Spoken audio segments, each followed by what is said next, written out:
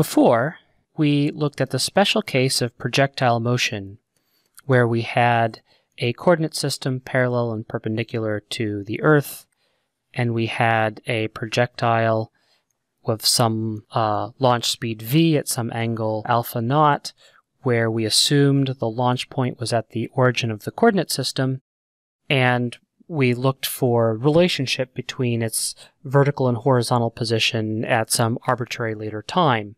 And so now we want to add an additional circumstance where the final y position is equal to the initial y position. In the y-axis, it comes down at the same level where it started.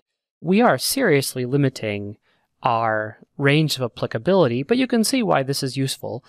You can use the range equation as long as it's not too far, flat Earth approximation and all that. Of course, we're neglecting air resistance.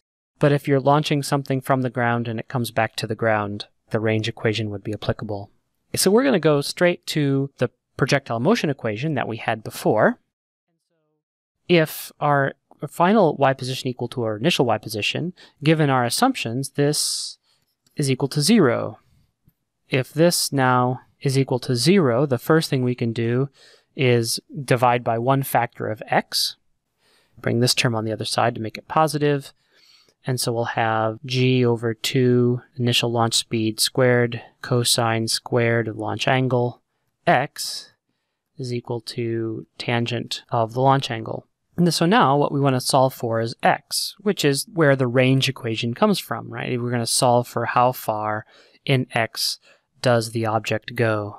So then x is equal to 2 initial speed squared cosine squared of the launch angle over g times tangent of alpha. If I separate that out, that's sine of alpha naught over cosine alpha naught we get one of our terms of cosine alpha naught to cancel. And I'm going to rewrite this a little bit.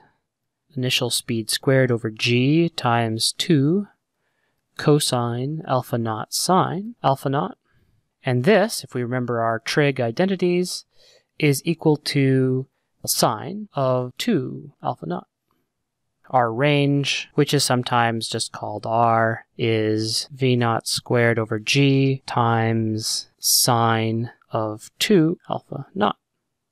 And from this is where you get the expression that this is maximized for alpha naught equals 45 degrees and other things. Remember, this is still only true for no air resistance, so it really doesn't have great applicability in, in real life. If you're going to look at projectiles, you really have to take into account their resistance. And also the very limited circumstances of uh, projectile motion that we discussed before with the initial constraint that the final y position is also at zero. But if we have all of those circumstances together, we really do have a handy expression that will save us a lot of computational time.